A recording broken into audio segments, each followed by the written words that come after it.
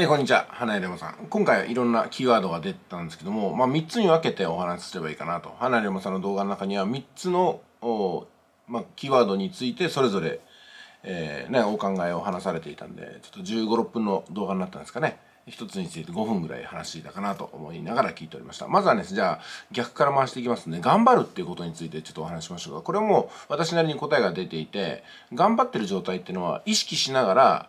何か行動を起こしてる時なんですよ。目的に向かってね。目的に向かって意識しながらやってる時っていうのは今日頑張ってるっていうことなんですよ。頑張ってるのはだからね、意識してる状態なんですよ。苦しいけども、もう1時間やってみようかなとか、苦しいけどももう一歩前進んでみようかなっていう状態ですよね。これはだからね、多くの方がね、必ず通るところなんですよ。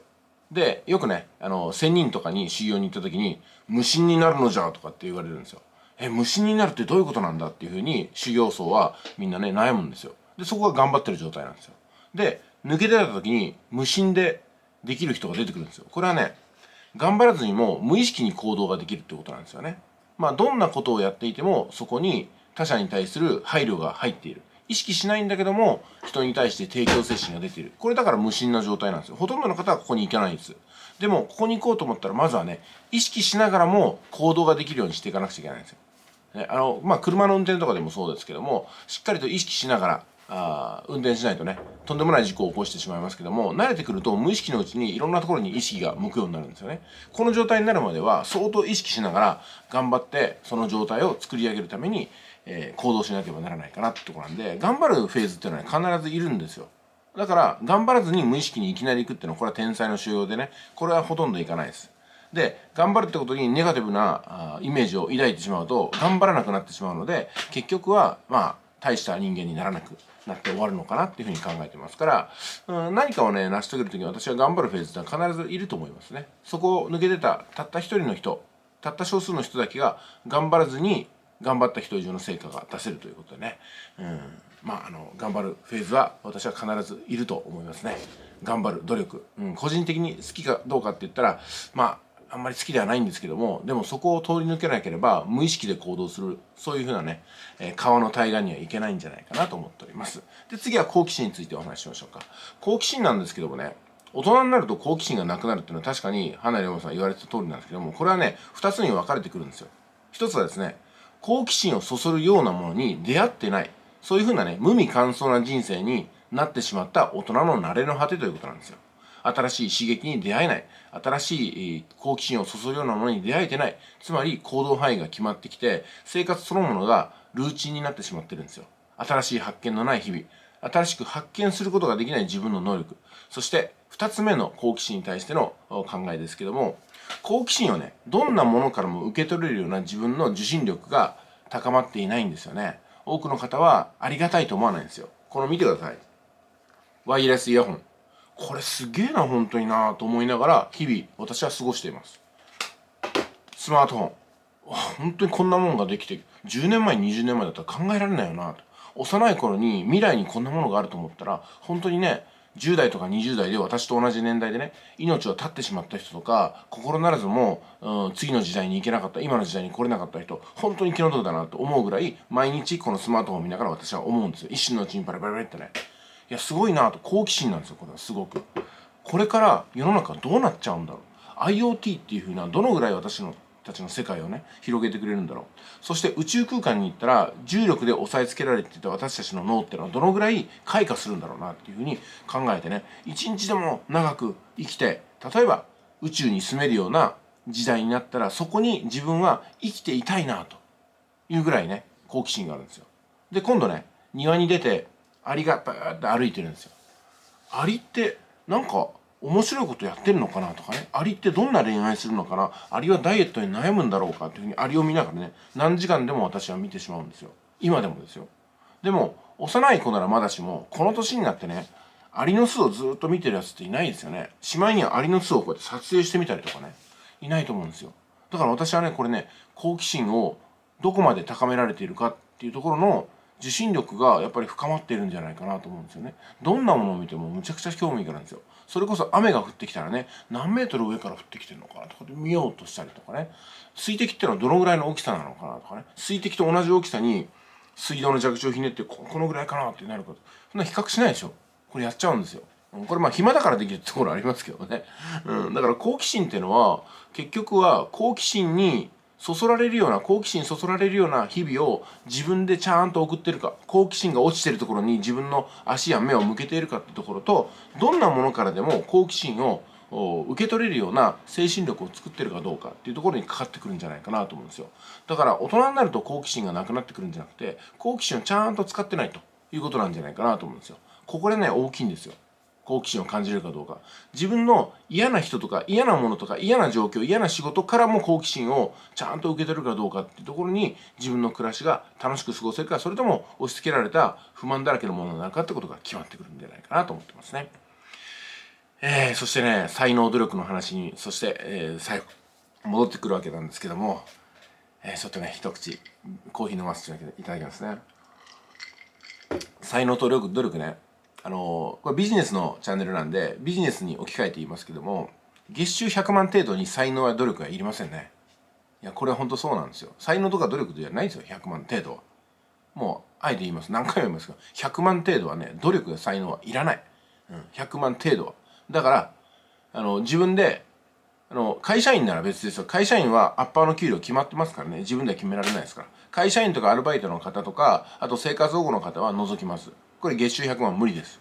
月収100万の生活保護制度になるまで待つか月収100万の会社に勤めるかぐらいしかないじゃないですか。でもね独立して自分で事業をやってる時に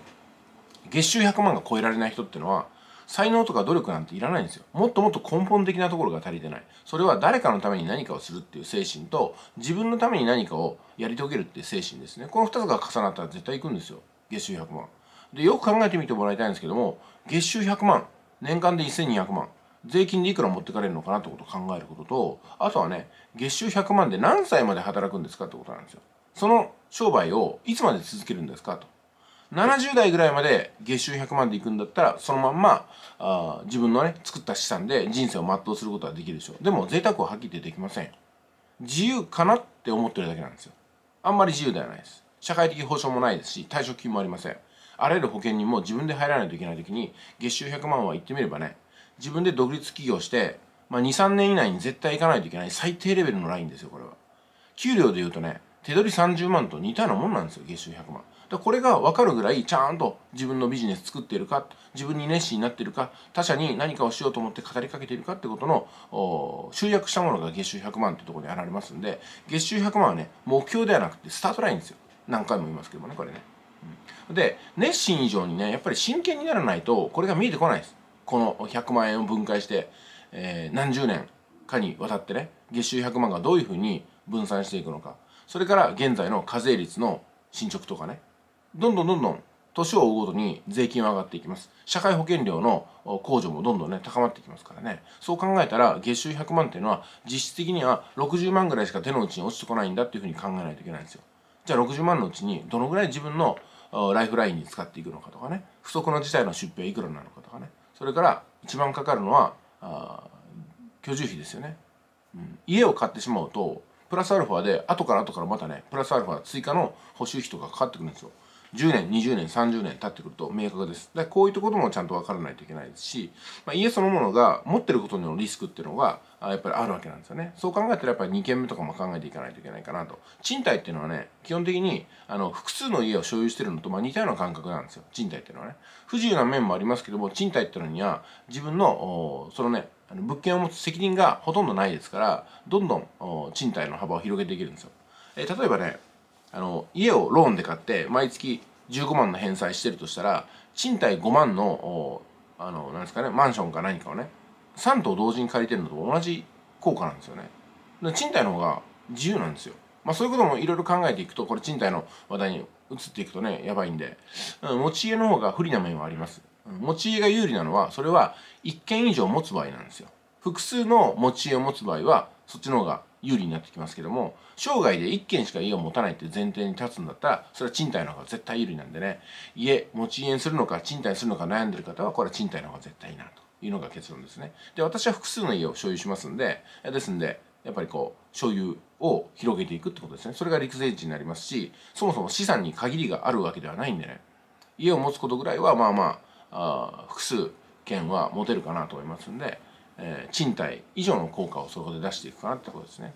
で、えー、あの熱心以上に真剣になるとこういうふうな思考になってきたりとかねあと楽しくやれる工夫をしないといけないですよね。やることに苦痛が伴っているといわゆる意識して頑張るフェーズっていうのはあの長く続かないんですよ。もちろん相当な精神力があれば長く続けることもできるんですけどもそもそもね頑張る状態を2年3年やって成果が出ないわけないんですよ。それは頑張ってないんですよ。ただ苦痛に耐えてるだけなんですよ。ここが大きな違いですよ。苦痛に耐えることを頑張るっていうふうにイコールで結びつけちゃダメなんですよ。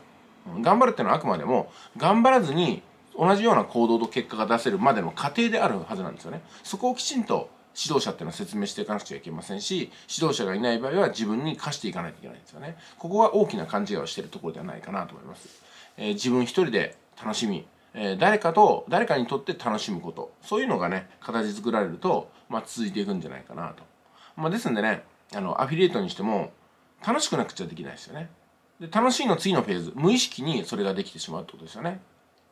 うん、もうまさにねあのマルチタスクって言って複数の作業が同時にできるようになってくるとそのうちの一つに稼ぐっていう動作が入っていても何とも思ってないし稼いでるつもりはなかったってことになるんですよ。まあ、この動画もね動画を作ってるようで一石五鳥ぐらいの効果があるんですよね。一石五鳥の動画はね、あの別の動画で撮ってますので、もういちいちここで話さないですけども、一石五鳥の中に、ついでにお金が儲かるって入ってるんですよ。ね、一石五鳥ですよ。一個の行動が5個の効果を生む、その5個のうちの一つが、ついでにお金が儲かるってやつがあるんですよ。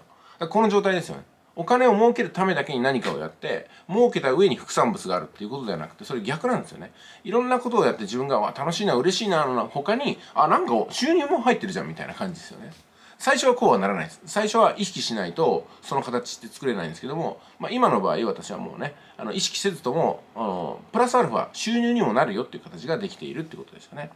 で「ドラゴン桜」っていうドラマをね最近私見終わったんですけども「ドラゴン桜」の東大受験の工夫の中にはねこれ受験勉強を一人でじっくりとやるっていう風な従来の勉強方法ではなくてね、うん、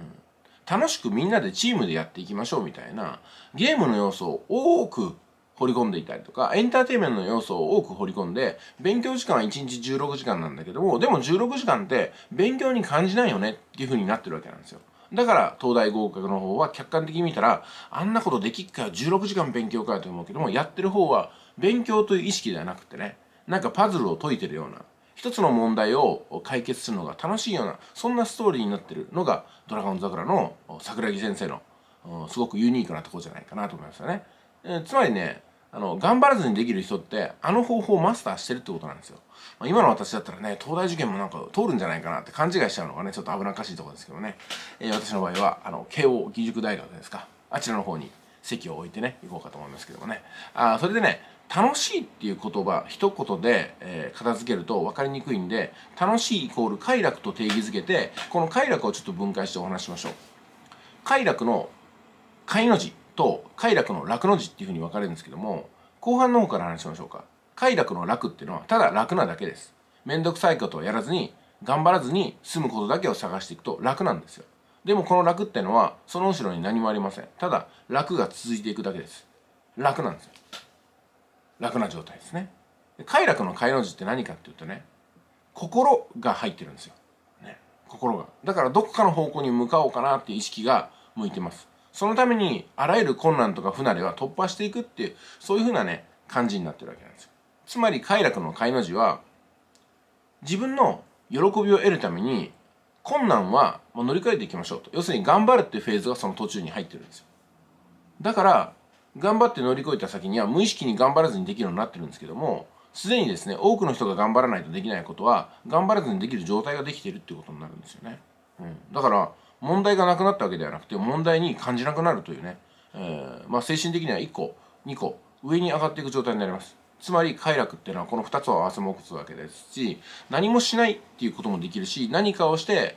快喜びを得るってこともできる。その状態が快楽。楽しい状態になってくると思います。でも多くの方はこの楽しいの楽のとこだけをやっちゃったり求めたりするんですよね。頑張ることを避けてみたりとか努力を避けてみたりとか。必ず努力が頑張るっていうフェーズは乗り越えないと何も見えてこないですね、うん、あのそこをね多くの人はや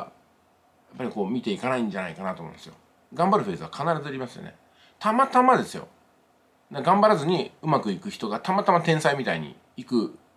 そんな人がいるわけなんですよ。でもその人っていうのは例えばビジネスの話に戻りますとなんか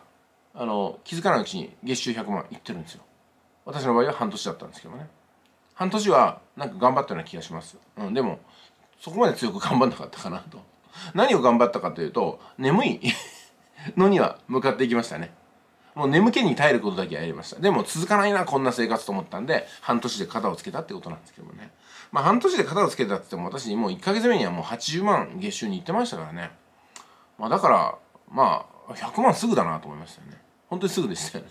えー、まあそんな感じでございますか。今回どうでしたかね？3つのキーワードについてお話ししましたけども私なりのあキーワードの分析の仕方が伝わったんじゃないかなと思います。今回のテーマは、